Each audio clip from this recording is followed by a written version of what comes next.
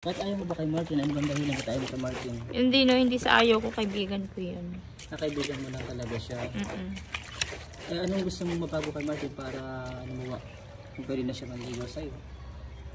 Ano, yung araw-araw siyang maligo. Lalaglag mo ko ha? Araw-araw ka palang maligo kaya pala. Hello Martin, kamusta ka na? Hello po. Hmm. Parang kinikilig ka. Ah, kinikilig niya kasi liligawan ko na si Drayday. Naligaw.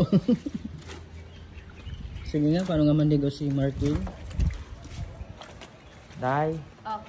papayag ka ba ligawan kita? Hindi no, kaibigan ko yan. What? Ano, ulitin mo. Hindi na narinig ni Durayday. Ayaw mo? Ay, ano? Um, Bakit ayaw mo sa kanya Durayday? Kaibigan ko yan no. Mga kaibigan lang talaga ang gusto mo, no? Mm-mm. O paano yan? Narinig mo na kaibigan lang daw ang gusto niya. okay lang. Hindi magbabago yung feelings mo sa kanya. Hindi. Hmm. Hanggang kaibigan lang talaga. Parang nasaktan ka. Hmm. Si Durayday, hanggang kaibigan lang ba talaga? Oo. O yan, sabihin mo sa harap sa kanya. Harapan niya dali. Para alam niya. Kaibigan ko yan eh.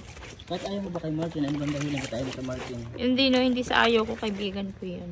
Nakaibigan mo lang talaga siya. Mm-mm. Eh, anong gusto mong mabago kay Martin para ano mo kung pwede na siya manligaw sa'yo? Ano, yung araw-araw siyang maligo. Lalaglag mo ko ha? Araw-araw ka palang maligo kaya pala ayaw sa'yo ni Durayday. Ikaw Dayan, nilalaglag mo ko ha? Araw-araw ako naliligo, Day. Hindi mo alam. dahilan kaya ayaw sa'yo ni. Araw-araw ako naliligo. Oh, Durayday, Naliligo. ano ano pala siya naliligo eh. Oo. Araw-araw pala siya naliligo. Mm. Hindi mo ba napapansin? Araw-araw ko pa sa... O ano bang, paano ba manligaw si Martin kay Durayday? O sige nga, para ma-impress si Durayday. Um, pandiligaw, kailangan tatanungin mo siya kung anong gusto niya. Mm, Durayday, ano daw gusto mo? Ano?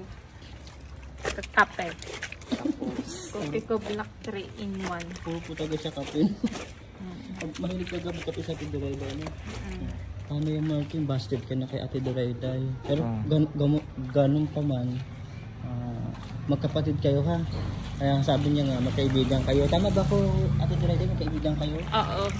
Ayun na, narinig mo na. Huwag ka nang umasa ha. Tsaka, ah, mas maganda yun na kaibigan lang ha. Kasi isa yung ating tinutuluyan na mas maganda yun na ituloy niyo yung isa't isa magkapatid lang. Tama ba Ate Durayday? Oo. O, sige, sabi mo sa kanya, Martin. Martin. Ano?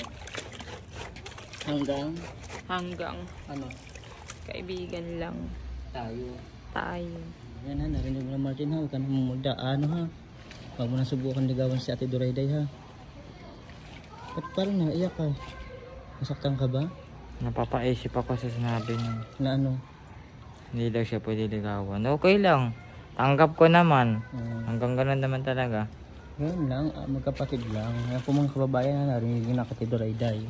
Kaya ito'y katuwaan lamang pong video to. Kaya ah, maging sensitibo po tayo sa ating mga komento. No? At alam po namin yung aming ginagawa. At ito'y po parang katuwaan lamang po.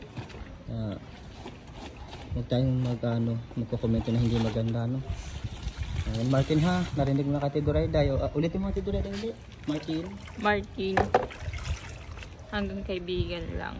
Ang liit ng boses mo eh. Ayan na, narinig mo na ha. Opo. Uh, ano tawag mo sa kanya? Hanggang kaibigan lang. Kaibigan! Mga kaibigan natin Durayday. Uh, babay na Martin. Ito po ang Bye-bye update kay po. Martin and Ingat. sa Ate. Uh, Ingat ka pala. tulungan mo siya Martin para mapadali. Ha? Tulungan mo siya maglaba. Ay, may ginagawa rin ako eh. Ayan na, sige na. Bye-bye. Bye-bye na kayo, Ate Durayday. Sige, bye-bye. Bye-bye. Yan po, pa-share po ng video natin mga kababayan. And God bless po. Yan.